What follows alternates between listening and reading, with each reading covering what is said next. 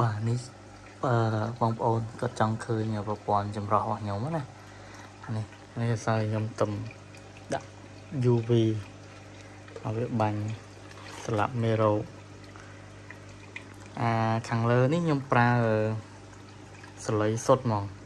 ហ្នឹងពេលទឹកពេលទឹកហូរមកហូរនៅលើ UV ហ្នឹងដើម្បីបាញ់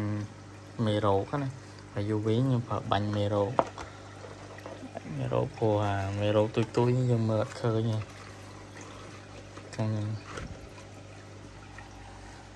អានេះក្របឲ្យវាភ្លឺវាចាំងភ្នែក